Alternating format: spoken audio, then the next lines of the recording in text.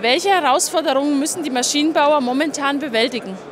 Ich glaube, dass viele Maschinenbauer im Moment äh, ein Problem haben. Die haben eigentlich zu viel zu tun äh, und müssen dann immer äh, schauen, wo werde ich mich jetzt mit beschäftigen, mit Kundenaufträgen oder mit neuer Technologie. Und wenn die sich dann mit neuer Technologie beschäftigen wollen, dann wissen die oft nicht, wo anzufangen.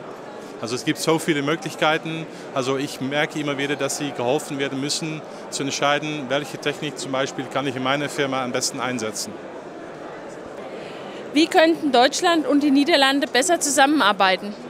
Also Deutschland und die Niederlande sind zwei Länder, die so eng miteinander verbunden und vernetzt sind und die sich auch so gut ergänzen, dass wir äh, die deutsche Gründlichkeit und das holländische Pragmatismus gut zusammenbringen können. Wir haben auch gestern eine gemeinsame Aktionsagenda veröffentlicht, wo wir auch aufgeschrieben haben, wie das dann funktionieren könnte und wo wir auch anarbeiten könnten. Eines der Dinge, die wir jetzt machen müssen, ist, dass wir das Field Lab Modell, wir mit Smart Industry in den Niederlanden nutzen, auch vergleichen, wie können wir das zum Beispiel in Deutschland einsetzen, damit wir dieses Pragmatismus zusammenbringen mit dieser deutschen Gründlichkeit, wo wir beide auch davon profitieren und einfach besser werden zusammen. Wie kann der Maschinenbau in Europa wettbewerbsfähig bleiben?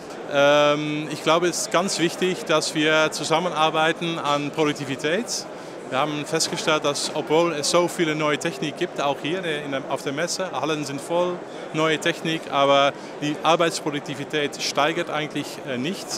Äh, in den Niederlanden ist es nur 1% pro Jahr. Äh, Im Maschinenbau ist es, glaube ich, sogar zurückgegangen, obwohl wir eigentlich Sprünge brauchen in der Produktivität. Also es wir haben jetzt eine Situation, wobei immer mehr Leute ähm, älter werden äh, und zu wenig neue Leute dazukommen. Wir produktiver arbeiten müssen, aber eigentlich nicht produktiv genug sind. Und dieses Problem müssen wir gemeinsam lösen.